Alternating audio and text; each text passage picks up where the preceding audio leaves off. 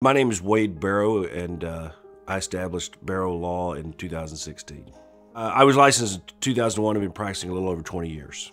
I practiced all over the United States, um, but my, uh, my license is in Texas. As a kid, I just was fascinated by getting justice for folks who wouldn't normally have access to it. I grew up in a poor rural community, and I kind of saw how you know, some people had access to justice and some people didn't, um, and it bothered me.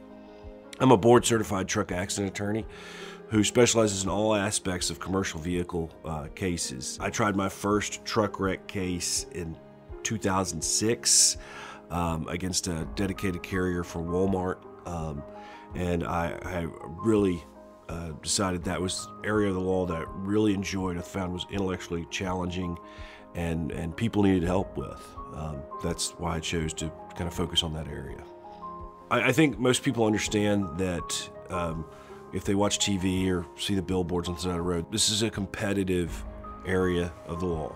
Uh, you see a lot of advertisements for, for these types of cases. And what I wanted to signify to any potential client was I wasn't just saying that I had specialization in this area, that I actually went and got certified. Um, and it wasn't just my um, assertion that I could help them, but that I had done the work, passed the test, and been approved by my peers as a specialist in this particular area of law. At Barrow Law, uh, we have had one of the top jury verdicts in the state of Texas every year since 2019. We uh, have also had settlements reported in those same reports as being some of the top settlements um, in the state.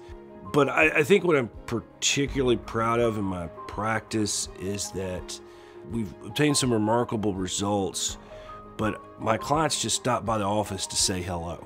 Um, and I think what I'm most proud of is that our clients kind of become family.